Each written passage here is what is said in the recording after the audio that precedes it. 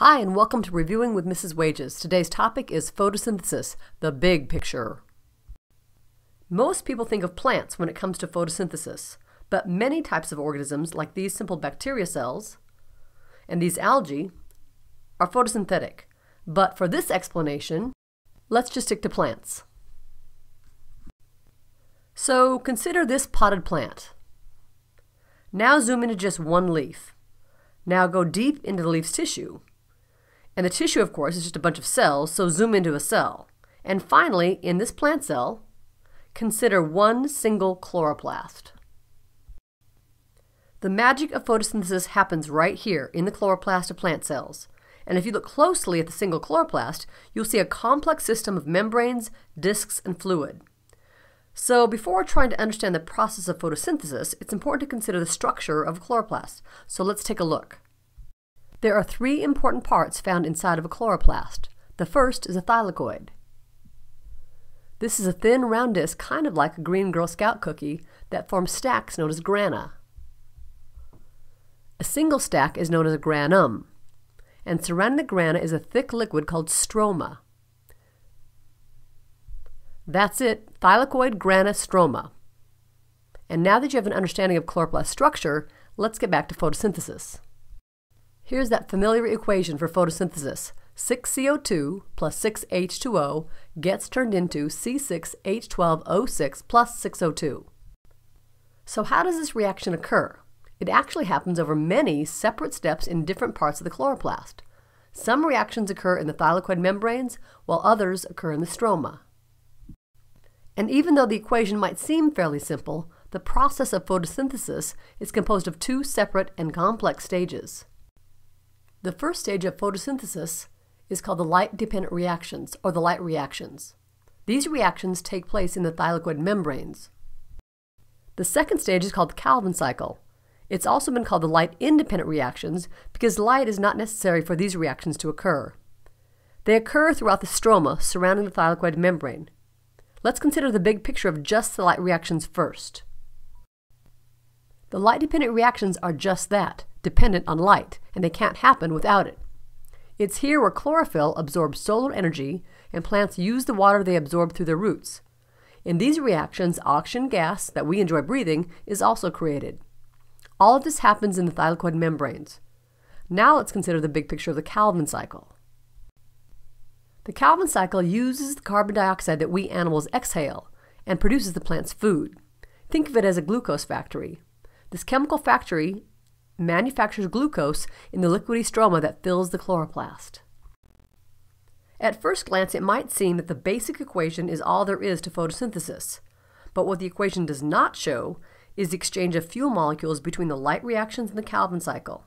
And while making oxygen gas seems very important, especially to us, the light reactions do more than that. The purpose of the light reactions is to provide energy in the form of fuel molecules for the Calvin cycle. Through a series of chemical reactions, the light-dependent reactions make ATP and NADPH for the Calvin cycle.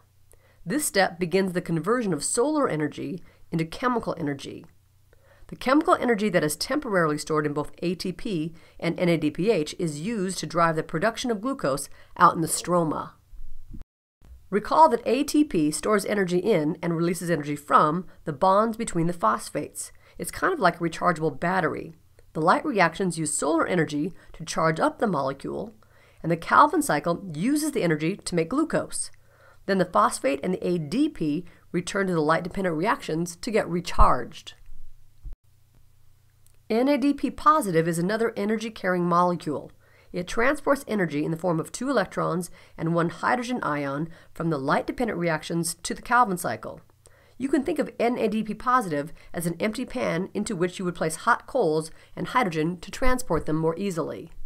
The light reactions attach the two electrons in the hydrogen to NADP positive, forming NADPH. This then travels to the Calvin cycle in the stroma. Like ATP, the energy from NADPH is released in the Calvin cycle in order to form glucose.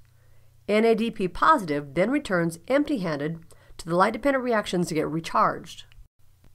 So what the original equation for photosynthesis does not show is the exchange of energy molecules between the light-dependent reactions and the Calvin cycle.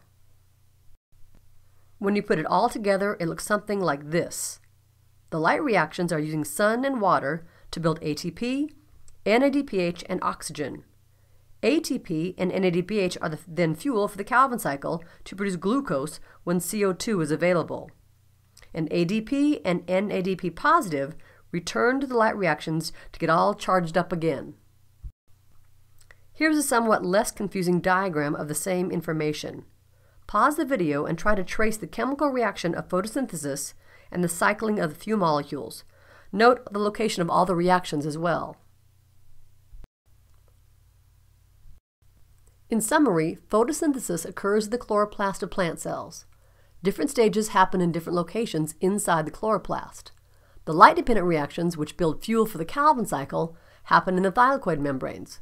The Calvin cycle, which produces sugar, like glucose, occurs in the stroma. In order to build the fuel molecules like ATP and NADPH, the thylakoids have to absorb solar energy and take in water. In the process, they will also produce oxygen gas. And finally, the Calvin cycle builds glucose using a steady supply of ATP and NADPH and carbon dioxide. When the fuel molecules have been depleted of their energy, they return to the light-dependent reactions to get recharged.